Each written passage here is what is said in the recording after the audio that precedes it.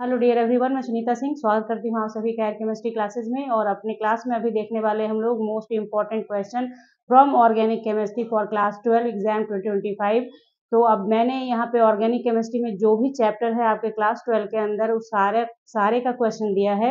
आप अपने बोर्ड के अकॉर्डिंग देखना कि आपके बोर्ड में कौन सा चैप्टर पढ़ना है, कौन सा नहीं पढ़ना है, उसके अकॉर्डिंग अपना देख लेना।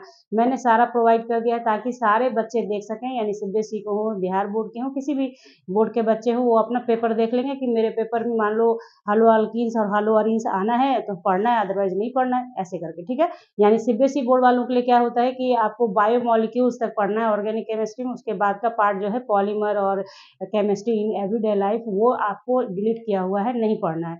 तो आप नहीं देखेंगे उसको, ठीक है? बाकी जो बिहार बोर्ड के बच्चे उनको सारा कुछ पढ़ना है तो वो पढ़ेंगे तो और भी बोर्ड के बच्चों को ये देख लेना तो ये मैंने आपको समझा दिया इसलिए, क्योंकि ये नहीं आप समझना देखने के बाद कि अरे सी के लिए है मैम, कि बिहार बोर्ड के लिए है मैम, कि किस बोर्ड के लिए आपने दिया है क्वेश्चन सारे बोर्ड के बच्चों के लिए, सारे चैप्टर का जो मोस्ट इंपॉर्टेंट क्वेश्चन है, ये दिया। और हंड्रेड अगर आपने ये सारे क्वेश्चन को अच्छे से कॉन्सेप्ट के साथ कीजिएगा पूरे कॉन्सेप्ट के साथ बनाएगा, जो भी क्वेश्चन दिया है मैंने तो चलिए देख लेते हैं क्वेश्चन क्वेश्चन आपको इंपॉर्टेंट लगे तो अपने दोस्तों को शेयर कर लीजिएगा और चैनल को सब्सक्राइब कीजिएगा बेल आइकन के साथ, ताकि फ़िज़िकल केमिस्ट्री और इनऑर्गेनिक केमिस्ट्री के इंपॉर्टेंट क्वेश्चन जब मैं डालूँगी तो नोटिफिकेशन आपके पास पहुँच जाएगा और लाइक कर दीजिएगा। तो चलिए देख लेते हैं क्वेश्चन ये देखिए क्वेश्चन है, पहला है हेलो अल्केन्स और हेलो अरिन्स से, ठीक है?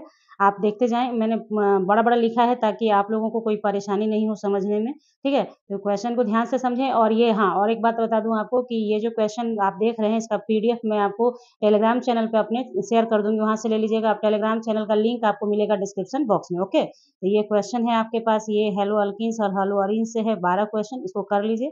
हो गया आपका। फिर अल्कोहल फिनॉल एंड ईथर से आप देख लीजिए, यहाँ क्वेश्चंस है।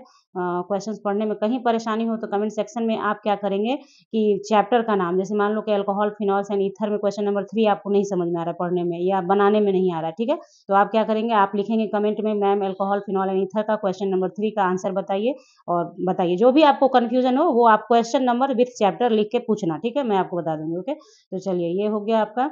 ये आपका इसका हो गया। अब देखिए aldehyde ketones and carboxylic acid का है ये। मतलब आप ध्यान से एक बार देख लो, है ना? पीडीएफ तो मैं आपको शेयर कर ही दूँगी। तो यहाँ अमीन्स का है। ये सारा हो गया। बना लीजिएगा बिल्कुल से। बायोमोलिक्यूल्स का सिर्फ़ ग्यारह क्वेश्चन है। कर लो काम खत्म। ठीक है? पॉलीमर से ये क्वेश्चंस हैं, ये सब कर लीजिएगा। बहुत इंपॉर्टेंट है और बहुत ईजी है। ये देखने में आपको जो लग रहा हो, ये ऑब्जेक्टिव टाइप क्वेश्चंस भी है इसमें। ठीक है? तो ये हो गया और ये लास्ट क्वेश्चन है केमिस्ट्री इन एवरीडे लाइफ तो ये मतलब क्वेश्चन नहीं चैप्टर लास्ट है ये. तो इसमें से इलेवन क्वेश्चन मैंने दिया है, आप कर लीजिए, इससे बाहर नहीं आएगा कुछ भी, ध्यान से कीजिएगा. तो चलिए, अच्छी अगर इंपॉर्टेंट क्वेश्चन लगा हो तो जल्दी जल्दी शेयर कर लीजिए अपने ग्रुप में. Thanks for watching subscribe for more